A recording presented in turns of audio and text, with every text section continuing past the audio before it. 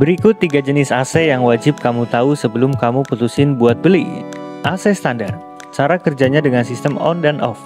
Kompresor akan langsung bekerja secara total di awal saat AC dinyalakan dan mati saat sudah mencapai suhu yang diinginkan. Kompresor akan menyala lagi setelah membaca suhu ruangan selama kurang lebih 5-10 menit. Kalau pemakaian cuma sebentar di ruangan yang sering dibuka tutup dan kamu mau suhu ruangan lebih cepat dingin, bisa pilih AC standar ya. AC lewat. Cara kerjanya sama dengan AC standar.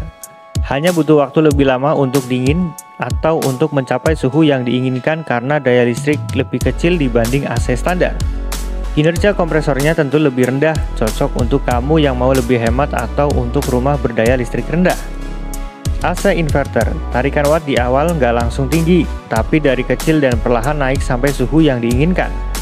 Saat suhu sudah tercapai, kompresor akan tetap menyala dengan daya yang rendah untuk menjaga suhu ruangan tetap dingin.